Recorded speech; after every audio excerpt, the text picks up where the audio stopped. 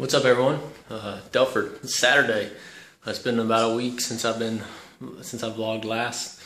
Uh, me and the wife here just getting things ready for the baby room. I'm in the where the baby room is going to be next, and we're going to uh, paint that thing. We're going to paint that thing. We're gonna.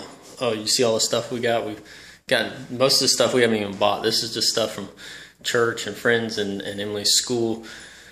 Uh, you know, it's just been great. Everything's going well.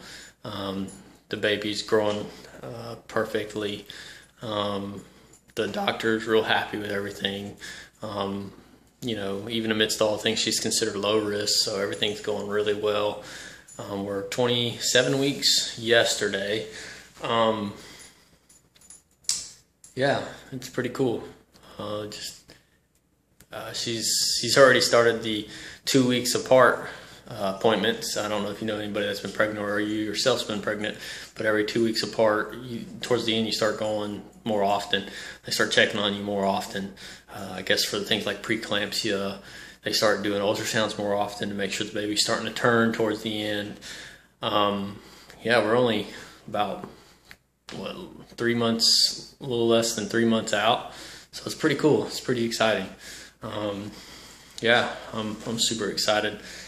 Uh, we're doing some projects, getting getting ready, cleaning up um, these this room and and getting it getting it baby ready. I guess getting it nursified. Um, that's not even a word, but you get what I'm trying to say.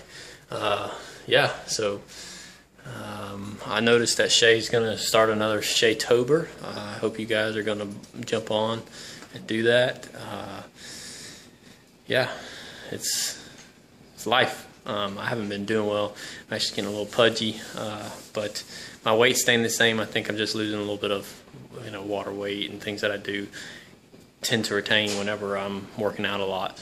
Um, but yeah, so we're we're gonna um, continue to to struggle through this. I'm starting to feel a lot better.